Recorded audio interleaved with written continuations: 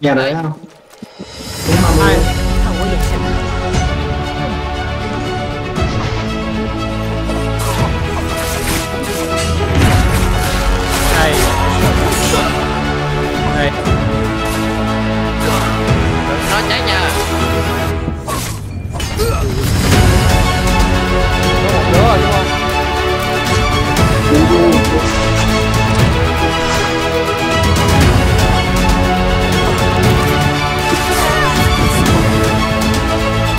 không dám lên rồi. ơi